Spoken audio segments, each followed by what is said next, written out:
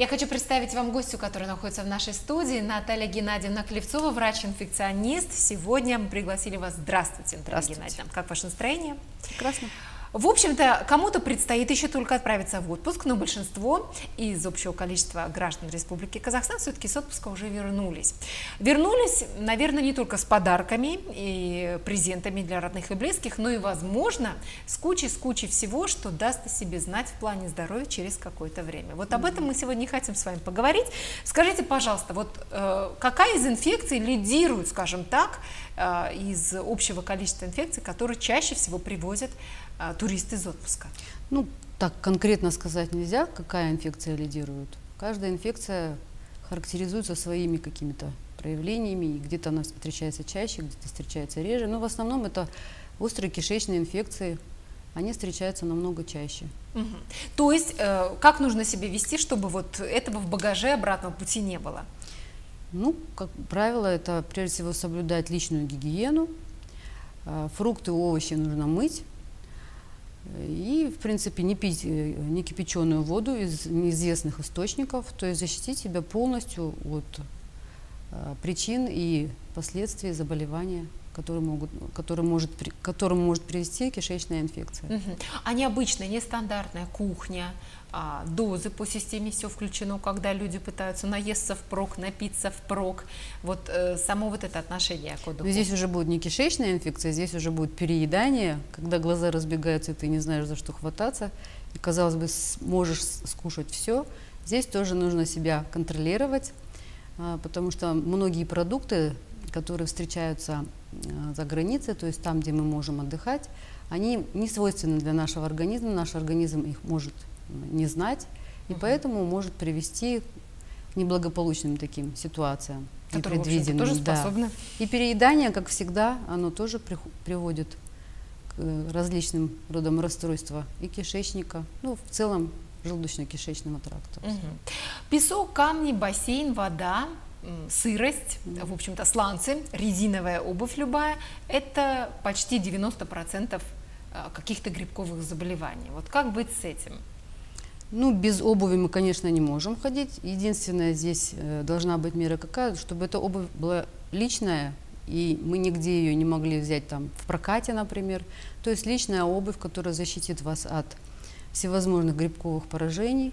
И поэтому босиком желательно. Ну, конечно, хочется побегать, но тогда нужно будет э, после того, как мы побегали, помыть ноги. То есть, опять же, личная гигиена, все ведет к тому, чтобы мы соблюдали личную гигиену и не пользовались, э, ну, как скажем, вещи, вещами, которые не принадлежат нам, которые от чужих людей. Мгм. Ну вот большинство туристов предпочитают, и особенно те туристы, которые едут куда-то к воде, к морю, к озеру, да, они предпочитают все время отпуска проводить вот именно в резиновой обуви. Может быть, э, есть, должны быть какие-то ограничения а, в том плане, что время вечером, время утром, то есть то время, когда мы не проводим около воды, лучше все-таки избежать резиновой обуви и а, обуваться во, во что-то более натуральное. Ну, есть, конечно, обувь у нас есть из натурального материала. Желательно, конечно, из натуральных материалов использовать. Но если нет такой возможности, тогда нужно уже пользоваться теми, Тем, что есть. тем, что есть. Но защищать себя в любом случае. Мгм. Но в любом случае, конечно, а, э, поездка куда-либо – это и перепады давления, изменение климата, в общем, и а, перенастройка всего организма, как во время отпуска, до отпуска и после отпуска. Как быть с переохлаждениями и со всякими разными инфекциями, ну, типа уреоплазмоза или что-то такого, что может о себе дать уже по истечении какого-то времени, когда человек уже приедет из отпуска, и потом, потом, потом проблемы начинают нарастать, как снежный ком. Конечно, если, ну, когда мы возвращаемся с отдыха, мы счастливые, отдохнувшие, нас ничего уже не беспокоит, мы возвращаемся на места своей работы. И в том случае, если возникнут какие-то непредвиденные ситуации, то есть возникнут какие-то симптомы, даже малейшие, вы заметите, каждый человек по своему здоровью сразу определит, что что-то с ним происходит, что-то не то. Вот в этом случае нужно быстренько обращаться. А если долго ждать, когда все это разовьется и перейдет уже в болезнь, тогда, конечно, на поздних этапах всегда тяжело. И клиника будет страдать, и диагностика будет страдать. Поэтому лучше, конечно, если появились какие-то симптомы, даже на начальных этапах, недомогание или там даже общая слабость какая-то непонятная, нужно сразу обращаться по месту жительства к своему доктору и держать с ним всегда связь. И он Мгм. всегда поможет. То есть профилактически сдать кровь и посмотреть. Профилак- Да, профилактика будет наша тогда, когда мы будем соблюдать все меры предосторожности на отдыхе. Мгм. Но если все-таки где-то что-то произошло, то у каждого инфекционного заболевания свой есть инкубационный период, и он не заставит себя долго ждать. Все равно в любом случае проявится. В любом случае А проявится. как же быть, э, что касается экзотических заболеваний? Это вот тогда, когда туристы наши любят неизведанные уголки э, земного шара наведываться, э, не задумываясь о том, что, в общем-то, нужно позаботиться о вакцинации или о каких-то элементарных мерах предосторожности. Ну, в любом случае, когда выезжают какой-то- на какой-то отдых, э, всегда предупреждают, какая это страна, что там можно ожидать. Какая там в любом случае, ситуация, да, какая там эпид- ситуация, что нужно предпринять.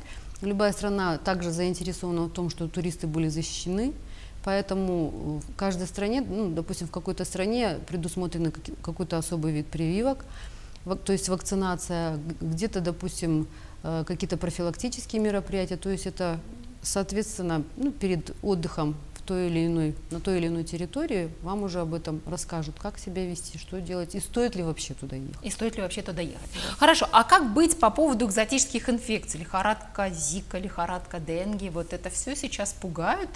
Говорят, что это все семимильными шагами идет по земному шару. Ну, лучше, конечно, туда не ехать, потому что Куда для туда? нас Вообще туда, никуда. Там, где это существует, где эпидситуация по этим заболеваниям неблагополучна. В принципе, вы туда и не можете попасть, потому что эти территории будут закрыты, то есть там будут карантины. И поэтому вы можете туда и не попасть, и не нужно туда попадать. И, сидя- и защищать себя в любом случае, не ехать туда, где эти страны для вас далекие, неизвестные, чтобы просто позаботиться о своем здоровье. Мгм. Ну что ж, большое спасибо. Наталья Геннадьевна, мы желаем вам хорошего отпуска. И как врач-инфекционист, наверняка вы очень бдительны да, во время отпуска. Вам удается расслабиться или вы постоянно вот э, ждете Конечно, на- нападения какие-то инфекции? Нет, я же тоже как все. Так же, как все защищаемся, так же, как все соблюдаем. Ну, конечно, бывают и погрешности, но это жизнь, поэтому мы живем, как и все. Спасибо вам Простые. большое, удачи.